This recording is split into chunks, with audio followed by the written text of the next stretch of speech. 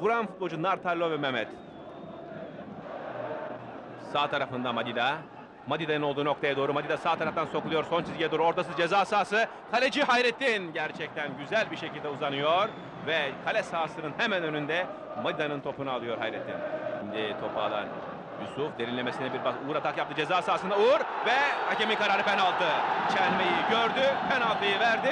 Galatasaray atağında Hakem Bülent Yavuz ceza sahasında Bülent'in düşürüldüğü pozisyonda penaltı noktasına gösteriyor. Alpay'ın itirazı, Rıza'nın itirazı ama karar değişmeyecek. Gordon Bin şu anda kalesinde Zafer dikkatli. Hakemin işareti Tugay topa doğru geliyor. Topalarda gol ve Galatasaray 1-0 öne geçiyor.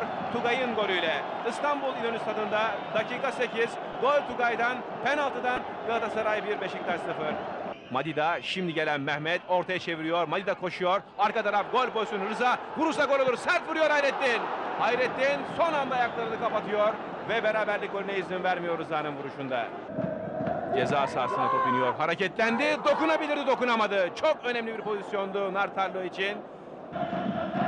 Şimdi Tugay. Ve karşılaşmanın ilk yarısının son düdüğünü maçın hakemi Bülent Yavuz çalıyor.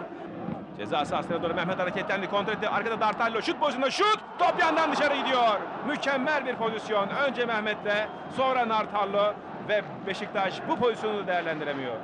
Arkadan destek veren futbolcu Bülent Hakan sağ tarafında kaldı. Ortaya doğru döndü. O noktaya giden bu Suat. Tehlike var Beşiktaş kalesinde. Suat ortasını yapıyor. Kafayı son anda savunmada. Hakan'dan önce Alpay vuruyor. Yusuf sol tarafta Hakan. Bir pas. Gol pozisyonu. Mustafa şutunu atıyor dışarıya. Yan tarafında Gökhan. Ceza sahasına top. Nartallo kafa dönemiyor. İyi gidiyor oraya. Şöyle vücudunu birazcık daha sola döndürse. Karşılayan Alpay. Kafayı vuran Suat. Ve hakem son düdüğünü çalıyor. 3 puan Galatasaray'ın değerli seyirciler.